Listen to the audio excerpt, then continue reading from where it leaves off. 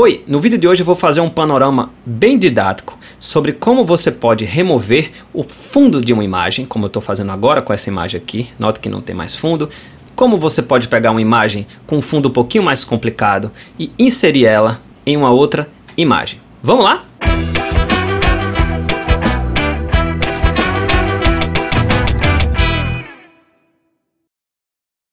Esse é um dos temas mais pedidos como você remover o fundo de uma imagem. Na prática, o que consiste uma remoção de imagem? Consiste em você selecionar o fundo e apagar ele destrutivamente, apertando Del ou através de uma máscara. Vou mostrar para vocês. A gente tem aqui uma imagem simples por enquanto, um fundo branco com uma bola azulada na frente. Então se eu quiser remover o fundo na prática, eu posso selecionar qualquer ferramenta de seleção, por exemplo, ferramenta de seleção rápida. Eu vou selecionar o fundo aqui, de forma muito rapidamente, porque é o nome da ferramenta. E aí, se eu apertar Del, eu removo o fundo, aperto Ctrl D para desfazer a seleção. Claro que isso é uma forma destrutiva. Uma segunda forma mais elegante de você fazer isso é você não agir destrutivamente. Eu vou apertar Ctrl Z algumas vezes, certo? E uma segunda forma é você selecionar não o fundo e sim o, o assunto principal. Eu vou fazer a seleção aqui da circunferência. E aí apertar em criar máscara, que ele vai criar uma máscara só com que é seleção e vai remover o resto. Só que ele não vai remover permanentemente. É o conceito de máscara. Ele vai justamente ocultar para você fazer ajustes posteriores. Essa é a forma com que se trabalha profissionalmente quando você remove fundo ou edita alguma área selecionada no Photoshop. Então, na prática esse vídeo vai servir como um index de outros vídeos mais profundos que eu fiz acerca de seleção de imagens e acerca de técnicas mais complexas para você remover o fundo. Porque trabalhar com imagem dessa é muito simples, é simplesmente um fundo branco com uma bola azul. É muito tranquilo de remover o fundo, mas na vida real não é assim. A gente tem imagens que dão mais trabalho e basicamente o trabalho vai ser selecionar, porque remover o fundo é isso que eu falei agora para vocês, essas duas formas. E eu tenho vídeos super aprofundados sobre as ferramentas de seleção, como você pode selecionar e como funcionam as máscaras também. Tá aparecendo no izinho acima direita, se você clicar você vai ver um index de vídeos bacanas e mais profundos para você melhorar a sua seleção e poder remover o fundo com mais eficiência. Mas vamos lá, vamos continuar com o nosso tutorial aqui.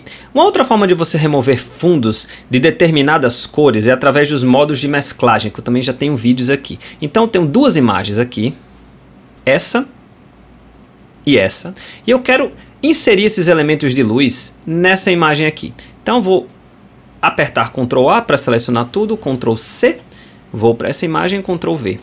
E está aqui a nossa imagem. Só que seria muito legal que o que fosse mais escuro fosse embora para poder ver a foto original. E aí, a gente sempre que tiver uma imagem com cores escuras ou fundo preto e a gente quer remover o fundo, remover o fundo preto, você muda o modo de mesclagem de normal para qualquer modo de mesclagem do grupo clarear, que é clarear ou divisão. Na verdade, esses cinco funcionam, mas o clarear e o divisão são os mais utilizados. Nesse caso aqui eu vou usar o divisão tá? e vou diminuir a opacidade.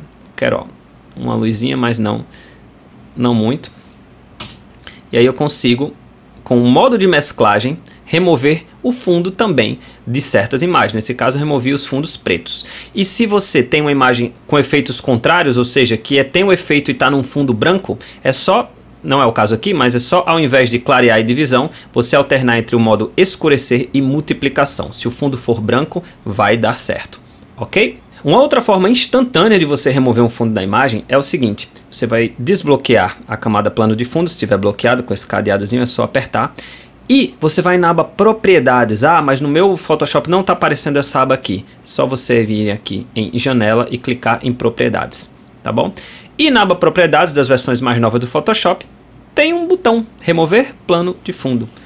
Clicou, esperou, ele removeu. Tá aí uma remoção bastante competente desse plano de fundo. E aí se eu quiser, por exemplo, eu posso copiar essa camada, vou clicar com direito aqui e duplicar camada. E agora eu vou selecionar uma outra imagem. Que é uma imagem de gramado. E aí quando for para minha imagem de gramado, vai estar tá lá o nosso sujeito com uma mascarazinha, porque é isso que faz quando a gente clica em remover plano de fundo, ele não remove destrutivamente, está aqui a máscara, Se eu apertar Shift e clicar na máscara, volta todo o fundo branco. Não é isso que eu quero. E aí ele fez a nossa remoção com apenas um botão, o botão remover plano de fundo. Uma outra forma de você remover o fundo, principalmente se você não tem a versão mais nova do Photoshop e não tem essa versão aqui, essa função remover plano de fundo, é a função selecionar assunto. Você vai aqui em selecionar assunto e ele vai fazer uma seleção do que, que ele acha que é o principal da foto. Muitas vezes ele consegue, ó, ele fez a seleção aqui e basta eu clicar em máscara que ele faz o mesmo procedimento. Ok, vou voltar agora para a camada aqui da, do gramado. Se você for dar um zoom aqui nessa imagem, você vai ver que ele fez uma seleção bastante competente. Só que cabelo é o grande problema da inteligência artificial do Photoshop. É muito difícil você selecionar cabelo. E tem algumas formas de você conseguir melhorar a seleção de cabelo. Uma delas é através da função selecionar e mascarar, ou Select and Mask, ou nas versões mais antigas Refine Edge. Ela se encontra no submenu aqui em cima de qualquer ferramenta de seleção. Se você tiver na, na ferramenta pincel, por exemplo, ela não tem. Mas qualquer outra ferramenta de seleção, laço, vai estar tá aqui o selecionar e mascarar. E se você clicar nela, eu já tenho um vídeo bem profundo sobre o selecionar e mascarar. Mas algumas funções aqui ajudam você com a seleção de cabelo. Se você for aqui para essa segunda ferramenta, né, ferramenta pincel para refinar borda, eu vou diminuir um pouquinho o tamanho dela. Você passando pelo cabelo, ó, ele faz um trabalho bastante competente para você conseguir selecionar bem o cabelo de uma imagem. Olha que legal. Uma outra coisa que pode ajudar é você deslocar a aresta. Se você deslocando a aresta mais para cá, ele come um pouquinho a seleção, fazendo com que qualquer sobra branca vá embora. Ou você pode deslocar a aresta positivamente e aí ó, tudo aparece de novo. Então vale a pena um leve toque de deslocar a aresta aqui, coisa de 15, menos 15%, fica bacana. Aperte em OK. E agora a gente tem uma seleção bem mais bacana com o cabelo agora melhor selecionado. Vou apagar essa máscara aqui para mostrar mais uma ferramenta bacana que eu aposto que você não sabia. Clico com direito, excluir máscara de camada, volta ao fundo branco. Eu vou fazer agora um ajuste destrutivo. Eu quero selecionar primeiro de forma com mais qualidade o cabelo dele, para depois selecionar o assunto e criar minha máscara.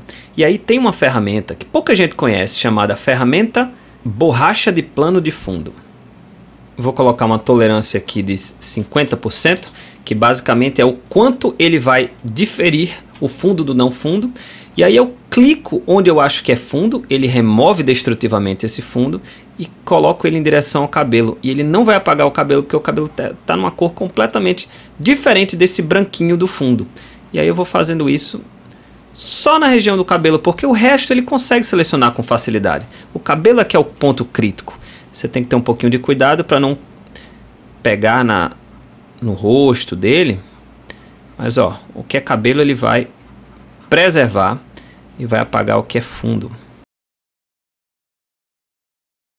Legal? E agora sim, eu repito o procedimento, selecionar assunto e ele vai desconsiderar essa, essa região aqui do cabelo e eu clico em máscara quando ele selecionar. E agora, ó, seleção perfeita com o cabelo bem selecionadozinho. Graças a essa ferramenta, borracha de plano de fundo, que eu aposto que você não conhecia. Um outro desafio de quando você está querendo remover o fundo para colocar em outro lugar é a tonalização da cor. A gente nota que ele está numa cor, né, um padrão de cor diferente desse. Eu já tenho um vídeo mostrando em detalhes como a gente pode aproximar, mas eu vou pincelar aqui nesse vídeo de forma muito rápida. É a função corresponder cor. Você vai em imagem, ajustes, corresponder cor ou match color, certo? Onde diz origem, você vai colocar a imagem que você está, no caso essa aqui. Ok, pode notar que ele ficou completamente verde e para isso que existem esses ajustes aqui. Primeiro, a gente pode clicar em neutralizar para ele não exagerar tanto nas cores e vai ser em atenuar que você vai fazer a maior parte do trabalho. Você pode colocar em atenuar 100%, tudo volta ao normal e aí você dá um ó, vai mexendo aqui até ele ficar com a tonalização que você quer. Nesse caso eu gostei aqui do 74%.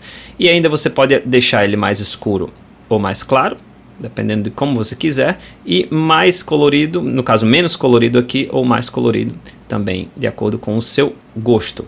Antes e depois, veja como ele fica mais dentro da imagem.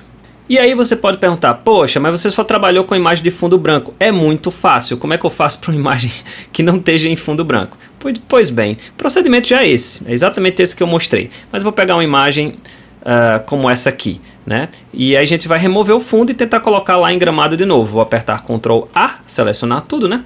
Ctrl C, vamos voltar para gramado, Ctrl V. Tá aqui o nosso cara. Vou para a ferramenta mover e colocar um pouquinho para baixo. Beleza. E vamos fazer a remoção do fundo. Eu posso, tem várias formas de fazer isso, mas vamos lá. Remover plano de fundo da forma mais simples possível. E ele removeu, faltando apenas um pouco de ajuste né, nessa questão do cabelo aqui e aqui um pouquinho. Então eu vou para máscara, tá? Eu vou para ferramenta pincel ou B a cor vai ser branca, vou apertar X para alternar entre as cores de frente e fundo. E vou pintar de branco isso aqui, porque ele fez uma, uma falhinha. Agora sim, no cabelo, eu vou para aquela ferramenta Select and Mask.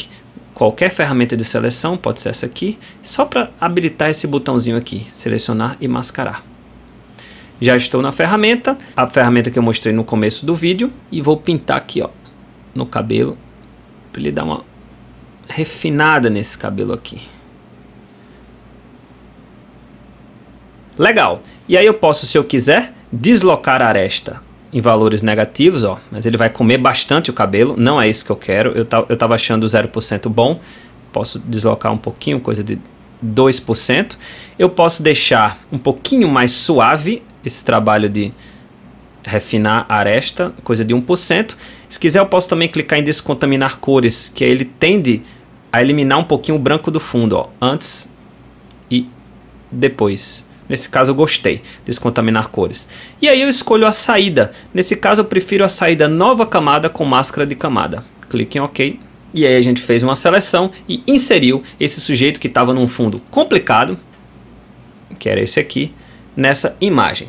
Eu devo dizer aqui também que existem formas bem mais complexas de você remover fundo para imagens mais complexas, como o comando blend if ou mesclar se, né, e a seleção de canais. Inclusive está aparecendo agora, no momento, é, um pouco dessa técnica de seleção de canais. Eu já tenho vídeos mostrando com profundidade, né? Eu não vou mostrar aqui novamente porque o vídeo ia ficar muito longo. Mas eu deixei todos os links das ferramentas mais complexas de seleção de fundo na descrição desse vídeo. Beleza? Se você gostou do vídeo, curte, compartilha que toda semana tem vídeo novo no canal Tratando Foto. Meu Instagram está aí na tela, muito obrigado por sua atenção e boas fotos.